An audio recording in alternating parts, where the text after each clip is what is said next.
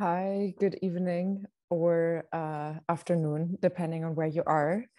Um, I'm calling in from Trondheim in southern Sapmi, Norway.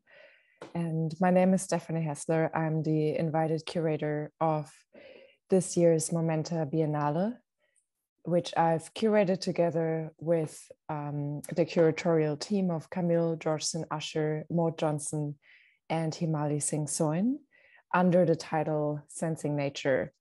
And it's great to have the chance tonight to um, tell you a bit about the exhibition and show you some images of the works installed in Montreal, where uh, this is actually the last, uh, yeah, these are the last 11 days to see the exhibition in person. Um, I will share my screen to show you some of the photographs from the exhibition.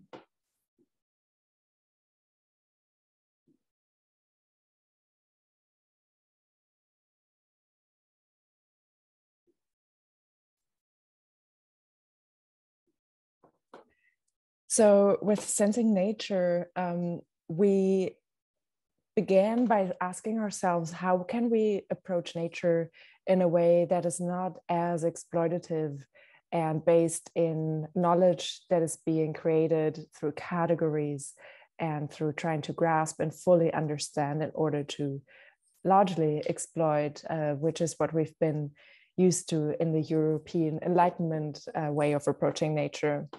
But instead, we focused on sensing to really propose that there's another way of engaging with nature, which is based in the sensuous, the sensory, and perception, and uh, and not only in the brain, but in, of course, the brain being part of our bodies and in all sensations uh, that we can create through embodied knowledge and world making. We also consider the title Sensing Nature as twofold. So, not only as humans sensing nature, but nature also sensing back and being an active other that uh, that has its own capacities of sensing, which we may not understand as humans, but which nonetheless give it uh, all rights of existence and uh, which doesn't mean that we need to uh, respect or protect it any less. The Biennale considers environmental justice as closely connected with social justice. And with the focus on sensing, we don't propose to go against science or against, you know, analysis and forms of knowledge creation that uh, which are very important clearly as well as activism. Um, but we say that it is important to have these other approaches and these other ways of uh, of getting closer to nature and of vibrating together with her and so the exhibition and the artists showing in the exhibition invite us to forge these intimate kinships uh, with nature with humans and non-humans with land and with water with organic and biological beings as much as with uh, technology and synthetic beings. So this notion of nature is also contested, and you know it's not natural as such, but always connected to culture, always connected to technology and to uh, to change, be that through humans or through other beings. And uh, together with the curatorial team for the last uh, year and a half, we've worked closely together, largely on Zoom, actually. Um, and we did a lot of studio visits with artists all over the world, among other places, of course, in um, Montreal, Munyang, Tirtake, as well as uh, all over Canada. We had an open call where uh, 400 or more uh, people submitted proposals, of which we selected a few also. Um, and we did studio visits with other artists from uh, Samoa to uh, French Guiana and uh, to Puerto Rico, France, all over the world, really. And in the exhibition, in the end, we ended up working with around 50 artists with our partner institutions. And so the way that Momenta works is that each exhibition is proposed to a partner institution and it needs to work for their program as well. So it was interesting actually to look at all the wonderful, really interesting and diverse institutions in uh, Montreal and to think about what we can propose and what might make sense for their audiences And um, I think it is really gives the biennial a local anchoring, which I think is really important. And it brings in various audiences. So for us, the curatorial team, it was also really important to think of an exhibition and feel an exhibition which really can speak to a lot of different people and where there's a lot of different entry points. And so I hope that uh, this comes through also in the images of the exhibitions. We're starting with the exhibition of the land at the Galerie de l'UQAM. And the exhibition of the land really starts thinking about okay, what are our relations to land, um, both through extraction. So we're looking, for example, at mining on indigenous land, but also at what I mentioned earlier, these nature cultures. So culture or nature not being separate from one another, but really informing one another. Um, and one of the examples that we thought about was an urban fox who is sort of strolling through a through a patch of metropolitan land or through a garden and you know disappears behind a trash can. And so you know this kind of um, relationship between what we consider natural and what we consider human made is really um, at the core of this exhibition.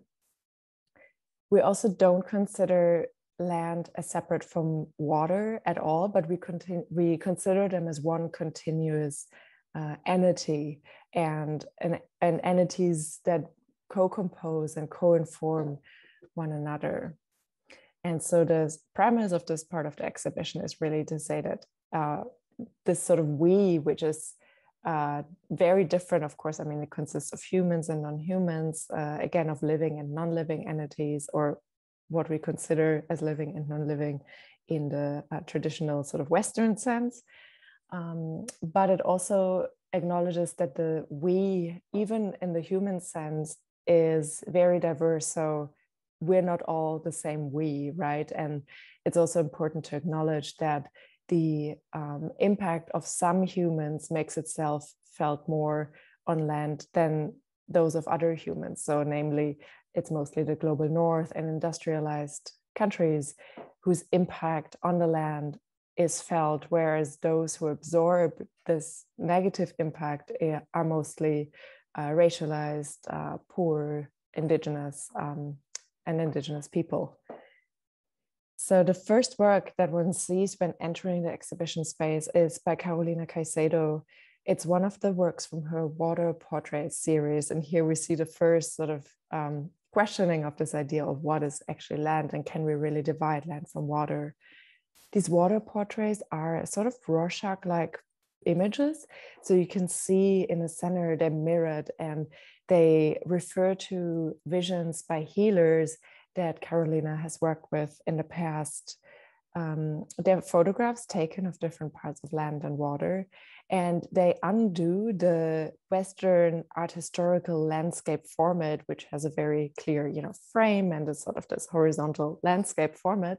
And in this case, it's this elongated, beautiful long fabric, uh, which stretches all through the space. These pieces of fabric can also be worn. So in performances, Carolina and performers actually um, submerge these fabrics in water and they interact with it. So these are active landscape portraits. They're not just there for contemplation, but they involve us humans as viewers, uh, but they also involve us as performers or as active entities in relation with land and water. The artists Tsema Igharas and Erin Siddall visited the Great Bear Lake um, in 2019, where they conducted research on the ongoing effects of uranium mining in the 1930s. The mining served the construction of nuclear bombs during the Manhattan Project. And so during their visit, Tsema and Erin did interviews with people, mostly of Dene communities, who live on the shore of the lakes, many of whom were employed in the mining industry. And so here we see um, a sign that's in the shape of a government warning sign telling people about radioactivity in the area or telling them to keep out. So it's sort of an image of statecraft in the area uh, with a photograph printed on fabric hung over it. And in the back on the right, you can see a shape of a sort of a monument, a monument perhaps to the impact of state power on Indigenous communities. In front, you can see um, these rocks that the artist collected on the site, which emit very low radioactivity. And they're encased in these glass bubbles, both to protect us from radiation, but also to protect the rocks and to tell the the history in a museological manner um, of uranium mining in the area. Kama La Mackerel is a poet, uh, artist, filmmaker from uh, Mauritius living in Montreal. And their project here is based in the postcards uh, exoticizing uh, racialized and feminized bodies uh, that tourists would, uh, would buy in Mauritius um, and together with this work, we show a video projection on the floor, which um, in which Kama is seen interacting with salt. So salt eh, as an element that is both found in our bodies, but also in the ocean, um, and which uh, can both be it can both crystallize and it can also be liquid and dissolved. And so this fluidity or um, change possibility of change is really important to Kama's practice, as they also uh, work a lot with what they call Zom Femme, which is Mauritian Creole for man, woman, or trans and non binary uh, identity.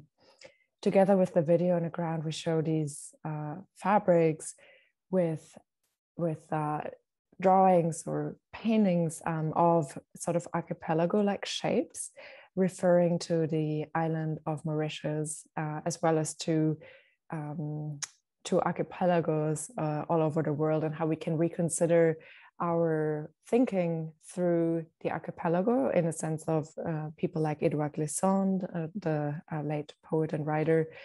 Um, but also how we can reconsider our ways of thinking from being so land-based to actually focus on water and asking what would it mean if our ways of thinking were much more based on water than on land. Here's another close up of the video, which is projected onto salt.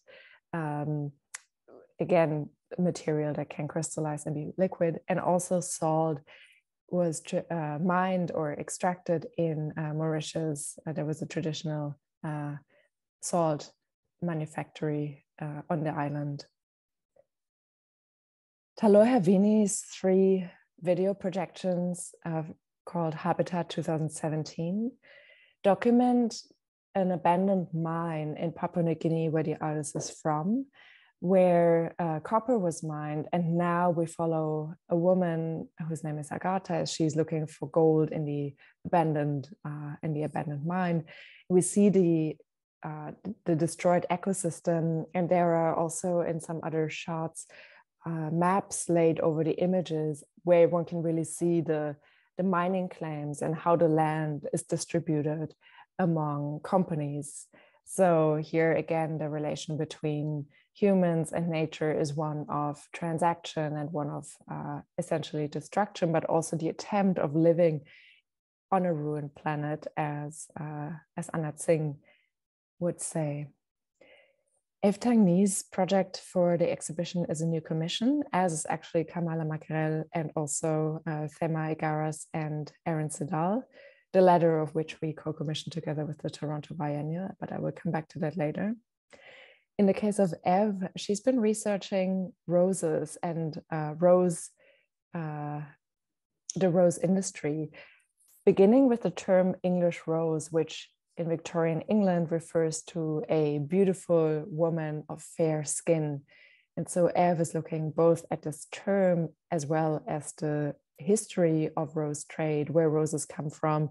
The roses that we uh, that we can buy in the global north, for instance, come mostly from Kenya and Ecuador. And there's a there's a set of sculptures, photographs, um, as well as videos, where performers are enacting the uh, gestures of labor that are um, performed well by, by workers in the rose industry, as well as uh, the shapes of sculptures that one can find in classical gardens commonly. And the last work in this part of the exhibition is by Miriam Simun, who collected the smell of a tiny, tiny plant uh, that only blooms one day a year for 24 hours. And this plant is on the verge of extinction. But due to a uh, an error of how it was um, entered into systems of taxonomy, the plant is actually a legal fiction. What's interesting too is that this plant, um, our human noses cannot detect the smell. And nonetheless, Miriam collected the smell of the plant, synthesized it, and changed it in a way that it becomes perceptible to our noses. And smell, of course, is really interesting for us because of the focus on sensing. And it is a, a, perception that enters in a way more direct way into our bodies. Um, it is actually registered and processed in the same parts of the, brain, of the brain where memory and emotions are processed. So to me, smell is uh, is particularly interesting, and this work is beautiful in my mind. I think of it as poetry for a plant that's on the verge of extinction as plant and not as weed or not as a crop.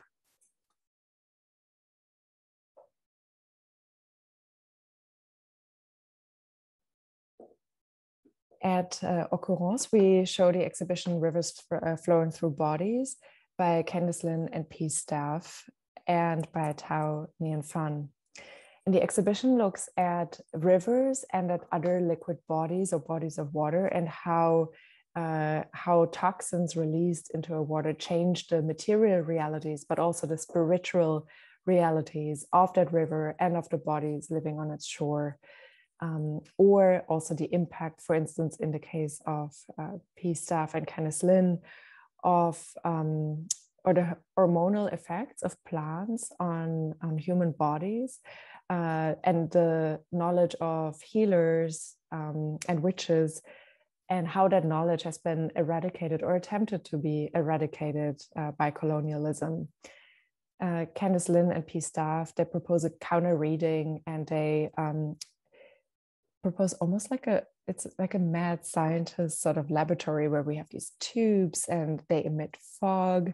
Uh, there are several videos as well as these um, sheets of plexiglass where different stories are told about pollution, contamination, etc. So all about how the fluids and the liquids in our body are affected by not only our environments, but also by plants, by you know toxins, and also by you know um, colonialism and by other human uh, histories, and and the impact of that can actually be felt directly on human bodies. Nguyen Phan's film Becoming Alluvium is centered on the Mekong River, where uh, she did research on several environmental uh, histories that affect human livelihoods on the shores of the river, as well as mythologies. So, for instance, uh, we're exhibiting also these uh, these drawings for an animation that is part of the film that tells a story of a princess who wishes nothing more than jewelry made from uh, from the sort of mount, um, morning uh, dew or humidity on plants and the sort of failures and the fables as well as moral stories inherent to that. At the Museum of Fine Arts, we're exhibiting Anne Duk Hee Jordan and her exhibition Intimacy of Strangers. The title is borrowed from Donna Haraway and Lynn Margulis. Um, Lynn Margulis was an evolutionary biologist, and Haraway is a um, well-known feminist philosopher. And both of them have put forward hypothesis of uh, that evolution is not so much based on competition, but much more on symbiosis or becoming together, so our involvement together with other organisms. And Duki has taken inspiration uh, from that and has and we're showing the uh, a projection which is actually titled uh, Staying with the Trouble in reference to Donna Haraway's work, where we follow all of these critters from beautiful sea slugs to microorganisms to monarch butterflies. And we, uh, we see sort of their interactions with one another and they tell a beautiful poetic narrative of cohabitation and symbi- um, uh, symbiosis. Together with that, Dookie is exhibiting these critters. Um, they're from her Artificial Stupidity series, and they're robotic creatures that move around in the space and they question this idea of artificial intelligence or that our technologies are going to help us out of the dire social and environmental crisis. And they say, well, perhaps we should dig deeper and actually reconsider our structures and rather than um, than trying to solve our problems through new techno fixes.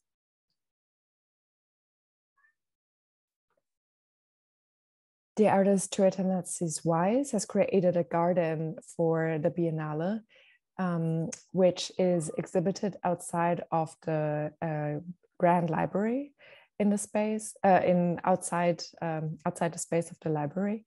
And the garden is uh, is mostly composed of indigenous plants yeah 90% i would say uh, from indigenous plants. And uh, the shape is inspired by the one dish one spoon agreement um, and sees has been coming back to Montreal and working with local youth who are helping to maintain the garden. Many of these plants have been given to her by other people, and after the exhibition ends, will also be passed on to other people who will continue to take care of them and grow them. At Vox, the exhibition Wet Futures really focuses on the ocean and on the various um, histories that have been um, told through the waves and through the surface that has been crossed by ships for, of migration, um, including the atrocities of the transatlantic slave trade. Uh, we're looking at ecologies and we're also looking at speculative futures. The first work, one Encounters When Entering the Space, is by Jen Bervin. Uh, it is called The Sea. It's a new work that we're showing, and it is based on John van Dyke's book, The Opal Sea from 1906.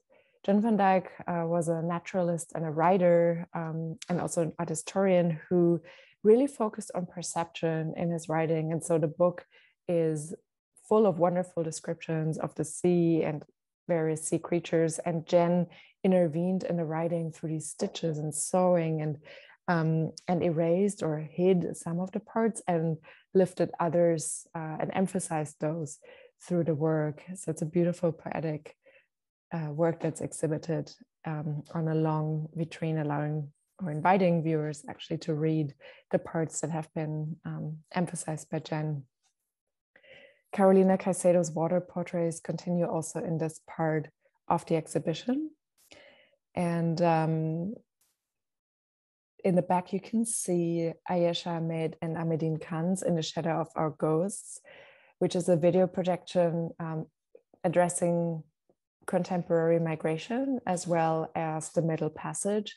We follow a an anonymous an anonymous figure whose face we never see and we see only ever shapes of, of the body as well as shadows walking on a beach and uh, another voice holding a monologue and considering you know uh, temporary or contemporary migrations um, as well as human rights issues and personal stories connected to the sea. And so here the politics of visibility are also really important. So for uh, refugees, for example, what would it mean to travel, to traverse the sea? What does it do to your identity? Do you actually, do you want to um, be seen or do you want to be hidden?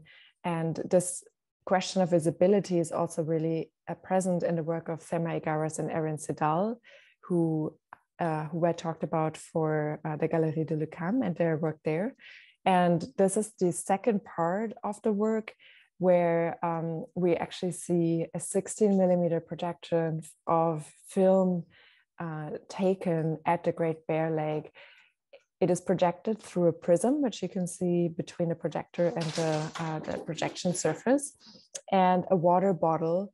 And the water uh, bottle contains water that was co- uh, collected at the lake. And again, because of the way that the light is diffracted through the prism and through the water bottle, this, this question of visibility is present in this case more connected to radioactivity and um, and pollution and you know the sort of radioactivity as a process that does affect bodies human bodies non-human bodies bodies of water uh, but it is not visible to our eyes. Susan Schuppli's work, Learning from Ice, is a more documentary approach looking at the world's cryosphere based on her long term research into ice cores and into how scientists can actually, uh, what they can tell from these cores that are extracted from permafrost. And together with that work, we're showing a newly commissioned uh, series of videos, uh, commissioned together with the Toronto Biennial as well uh, which is looking at ice and uh, and temperature as a weapon. So on the one hand, looking at the so-called starlight tours, which are practices of policing in Canada, where mostly Indigenous people are taken outside in freezing temperatures and just dropped off outside of the city and um, very often die. So, um, and now in recent years, there have been more investigations into these practices, but for for a long time they weren't investigated. And so, uh, together with forensic architecture and other collaborators, Susan Schuppli has been looking into these cases and is tracing various cases on a map, telling the stories and telling also how the legal system has not been able to account for um, for these deaths and uh, abandonments. Other cases include, for instance, uh, the, the cold temperatures in a detention center in the US at the US Mexican border, uh, as well as questions of climate change and the right to be cold, among others. And these cases are actually available to see online. And you can see the link here in the top of the server. It's cold-cases.info. Maryse Goudreau is an artist and a wildlife rehabilitator who has been fascinated with beluga whales all her life.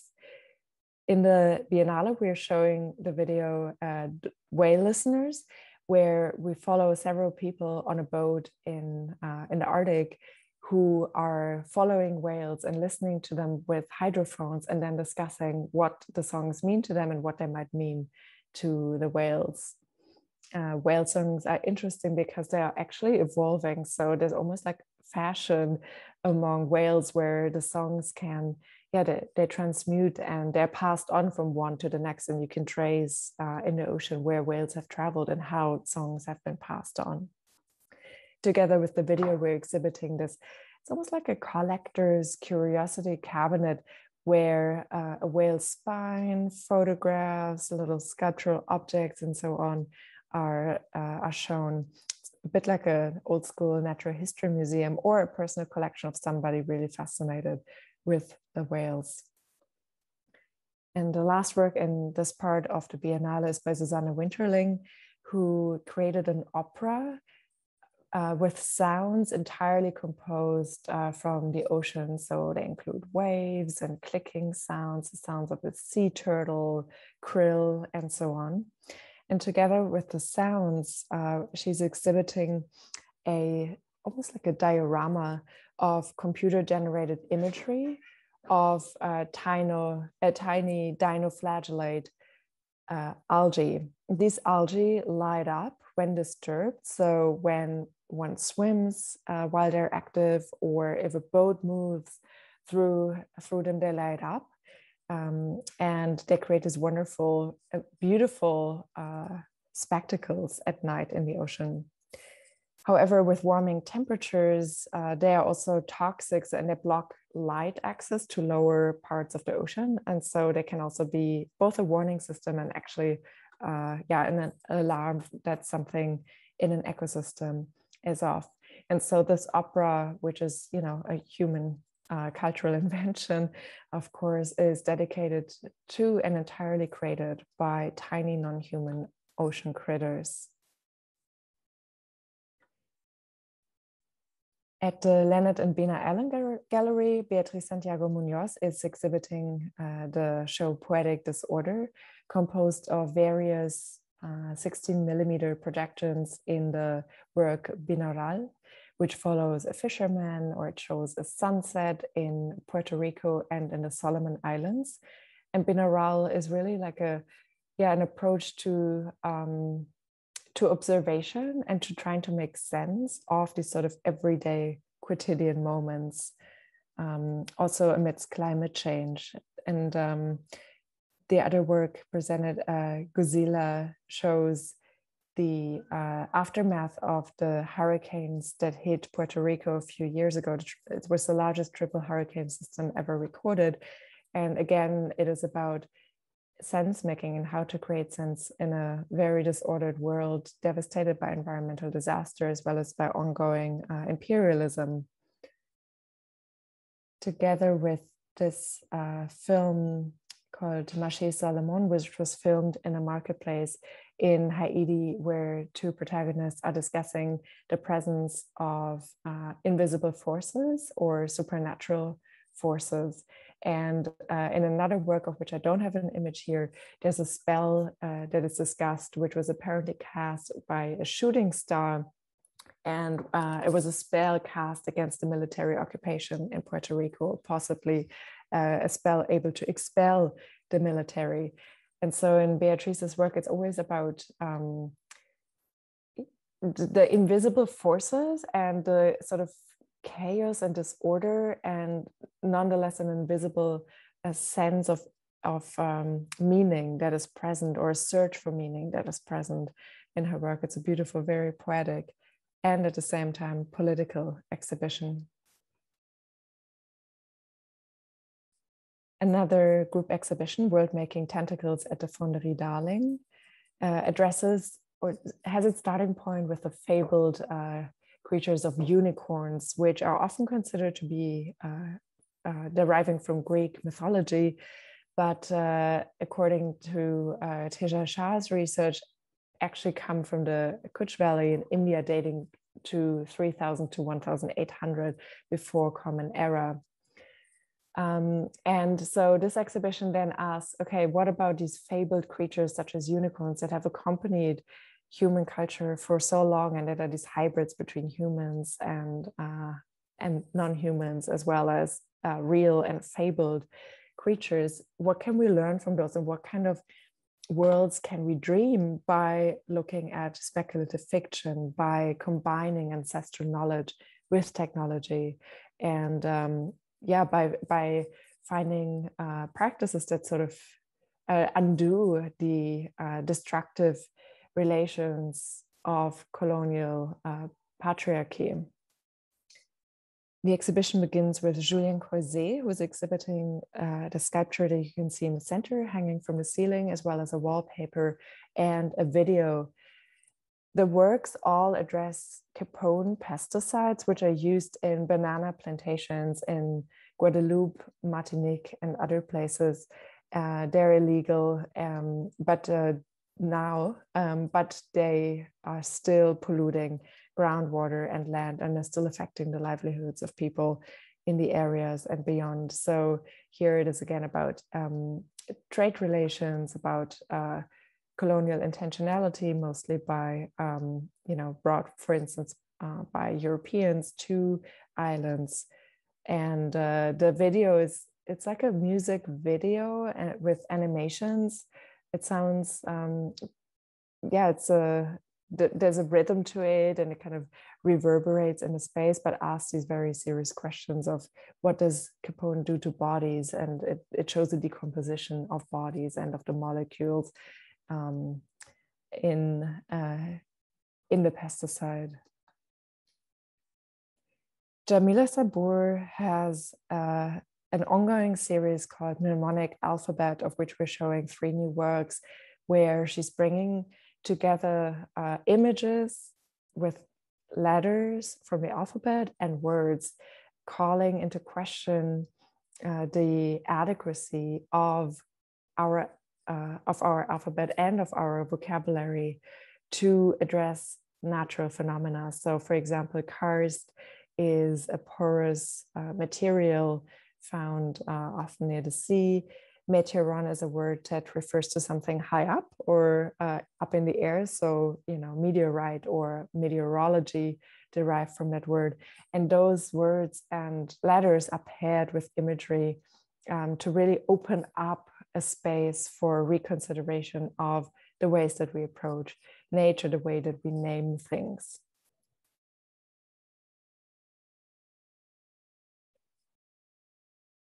Tejal Shah uh, has uh, in 2012 created a brilliant series of works called Between the Waves, where we follow ecosexual beings as they interact with one another and uh, with the surrounding areas, among others, um, a landfill that you can see here, or uh, underwater, uh, there are underwater scenes as well. Very often we see plastics and pollution, but nonetheless, these creatures are uh, creating pleasure and they're resisting the easy qualification of uh, what is beauty and what is not. And they're proposing a sort of other potential future. Um, and here the, the reference to the unicorns is present. And these, um, as you can see here, these works are beautiful, touching, very sensual, also very, uh, very sad, and they're very, very powerful. Tejal is also giving a workshop during the biennial titled Is the Universe Queerer Than We Can Suppose, where they address questions of queerness and they've been practicing um, Buddhism and uh, permaculture, so they will bring all of these different aspects together. In Tabita Rezaire's series Inner Fire, uh, we see Afrofuturist goddesses uh, who um, are inspired by the elements of fire, uh, earth, uh, water, and air. And um, they are, you know, futuristic, uh, retro or Afrofuturistic proposals for different imaginaries that do not objectify uh, black femme bodies, but uh, but that actually celebrate uh, the um, the technological divine, um, and who also very um, who also yeah fight for you know on the left you can see for example a bitch better have my money. So it's also about uh, reparations about payment about uh, decolonization um, of of art spaces as well as all other spaces sandra mujinga uh, is has been inspired by um, by the camouflage tactics of various animals, so of jellyfish as well as elephants. And this series of sculptures, Nocturnal Kinship, they're large, larger than life uh, sculptures who look like these figures standing there in the space, wearing hoodies, looking at you. And so Sandra is also pointing to the uh, racialized um, iconography of the hoodie and the idea of threat and of you know what bodies actually need to be protected because of police violence uh, and so on. Together with this work, show, uh, Sandra showing another piece called Disruptive Pattern, where it is again about camouflage, about visibility and invisibility, where we see this uh, sort of liquidized uh, images of uh, bodies appearing and disappearing. The work by Charlotte Brathwaite is inspired by the writer Octavia Butler's Parable of the Sower, novel from 1993, where Butler imagines a dystopian uh, uh, future, um, which is actually set in 2024, so not long from now, where environmental destruction is, uh, you know, very advanced, and where also the political system has completely collapsed. There's corruption, violence, and um, and the character in the books, Lauren Olamina, imagines a religion called Earthseed, which is more of a spirituality, which connects, um, or it says that everything is change and based in change. So darkness gives way to light, and lightness gives way uh, to darkness. And so Charlotte's work is inspired by uh, by this book, and is almost like a sort of homage to it, where you know other worlds become possible because of change, and where she's really asking what kind of change can we and do we want to create? Um, at Optica, uh, we've uh, invited Bush Gallery, uh, who are an indigenous collective of Gabrielle L'Hirondelle Hill, Peter Morin, and Tania Willard, to uh, make a carte blanche exhibition. So we uh, invited Bush Gallery to do whatever they wanted to do, and they decided to uh, exhibit work exhibit works that were um, uh, made in the summer on Tania Willard's land. Uh, they're mostly sun prints, and you can see here, for instance, uh, the the line plants as monuments um, printed on pieces of a tent that was that was blown away during a storm. Or here other pieces of uh, denim, um, photographs, again, pieces of fabric of a tent, and, uh, and here this garment, as well as videos that are showing the making of the exhibition. And together with the works, uh, Bush Gallery is also exhibiting its manifesto, where it describes what Bush Gallery is. And it is an um, itinerant gallery that can take place um, anywhere, it can take place in an art center, but it can also take place outdoors and it can shift shapes. It can be movie watching uh, with trees, can be art. Um, you know, laughing, having fun can be art, but they also address the ongoing racism in the contemporary art system and attempt to widen the definition of what art is and ask who is invited into these spaces. Caroline Monnet and Laura Ortman are friends and artists who have collaborated on several occasions. And for this new commission, we invited them to create a new piece for the McCord Museum. Due to the pandemic, uh, the artists were not able to meet, so they developed a call and response method similar to that of some bird species, where uh, they send, uh, in this case, messages, um, photos, film, sounds to one another and uh, and responded to what the other person had sent them. And together they created this beautiful exhibition which really focuses on waves and patterns. Um, there's both these uh, these graphic uh, works as well as uh, as a video projection and a sound piece by uh, by Laura which is present in the space.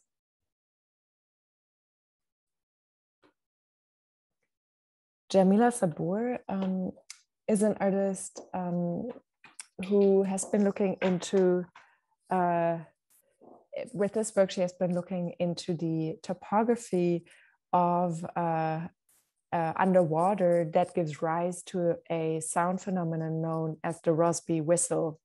The Rossby whistle occurs every 120 days um, and it is a sound that's emitted from the ocean floor because of the way that the floor ocean floor is formed and then the waves running over the ocean floor but it is only audible in space and so um, it's a work consisting of several video projections um, where we can see here this uh, person with a sextant you know trying to sort of gauge their position um, on the left there are these figures uh, in uh, in the empty blue uh, space holding a rhombus shape.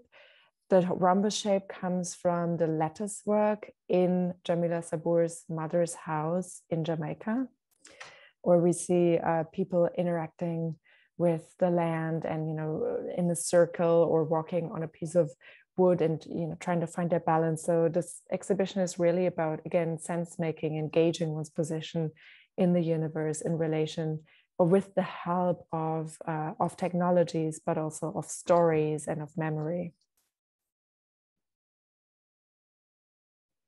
At the Fondation Phi, uh, together with the Musée d'Art Contemporain, we commissioned Abbas Akhavan to uh, create a new work, which resulted in the piece uh, Spill, which you can see here. So it's a large green screen with a pond landscape in the center. There's water running in the pond, and the rocks are arranged in a way that is um, pleasant, but also uh, not spectacular.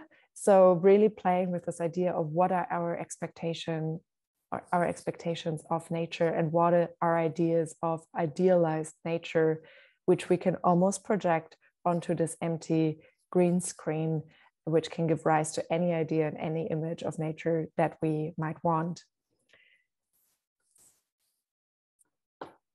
Léuli Eshrāghi um, is exhibiting um, a work dealing with uh, ancestral ceremonial spaces, in this case inspired by Fe or the um, octopus god of war in Samoan mythology. Um, the in the center of the installation, the fabrics, uh, they're sort of a reference to this octopus shape. They create a ceremonial space. Uh, there are um, traditional and contemporary symbols printed on the fabrics. And together with this, uh, Léuli is exhibiting uh, a video uh, centering indigiqueer pleasure and forms of pleasure and care that have often been um, uh, or that have become taboo in the Pacific, on Samoa, and many other places due to uh, or when colonizers and missionaries arrived. So this exhibition is really about uh, Indigenous queer um, resistance to these sorts of taboos and to uh, gender norms, and also to ways of how nature is uh, is treated and is considered as an outside and an other um, out there. And the neon signs um, say this is a, a, sign in Samoan which translates roughly to uh, the words of our ancestors are spoken in eternity.